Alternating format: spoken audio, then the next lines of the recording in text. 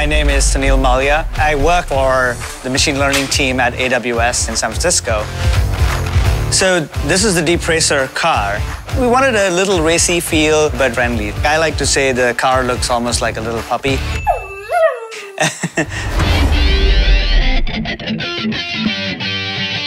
A guiding principle as we built the car was it needed to be small enough that people could use that in their house, in their garage, or in their offices. We picked a 118 scale chassis. The total car weighs around 3.6 pounds. Another design goal was keeping it very simple. We understand the complexity of reinforcement learning. We didn't want people to have the additional burden of hardware and uh, all the sensors, etc. Taking the hood off, let's actually look at what's inside. So the car currently is visual driven. The input into the car is purely an image. The camera runs at four megapixels, but we don't necessarily need four megapixels worth of information to actually drive the car. So we actually resample the image into a 160 by 120 grayscale image because we don't need color information to do what we do. In fact, by grayscaling the image, we actually get better simulation to real life transfer. The car does have other sensors like a gyroscope, and over time, we will allow people to use all these and have a more complex input into the system. So it's a single camera, but the camera is actually detachable. In the future, you'll be able to actually put a left camera and a right camera and create a composite image.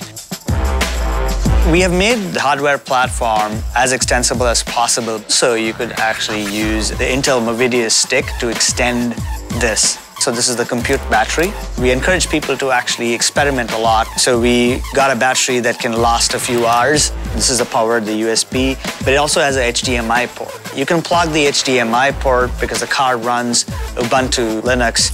So it's almost like a mobile desktop.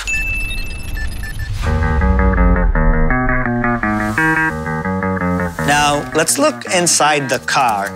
So this is the RC chassis part, and this is the compute part. Now, this is the heat sink uh, for the car, so we don't want you to get your hands burned because there's some heavy computation that happens here. You'll see two different connections. One connection is to the servo motor, which does the steering. The other one is called the ESC. This essentially is a throttle piece. The car has a separate battery, lithium-ion batteries. That is also pretty easy to replace. This is a monster truck chassis, so the car has a pretty decent uh, suspension. And the car, so far, we've seen can go 15, 20 miles an hour. At a 118 scale car, the car going 20 miles an hour, if you do the math, it comes to around 360 miles an hour. That's really fast.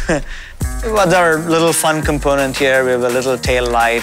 Uh, it's actually customizable LED. You can you know, have a violet, purple, red. Uh, so it's just fun to distinguish your car and give it your own touch.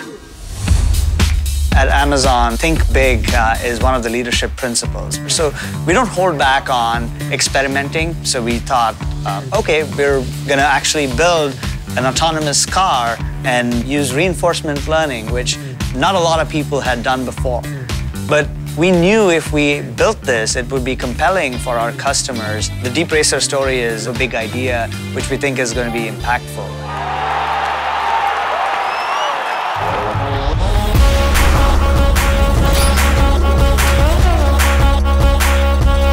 Don't miss out on your chance to compete for the Championship Cup. And don't forget to like, comment, and subscribe to Deep Racer TV on YouTube. And now you can find the entire season of Deep Racer TV on Amazon Prime. Sunil, tell me, yeah, what's up with your thumb? I was fighting with a kangaroo. I was in the thumb wrestling league. I actually gave the world's deadliest high five. I'm just trying to be ambidextrous.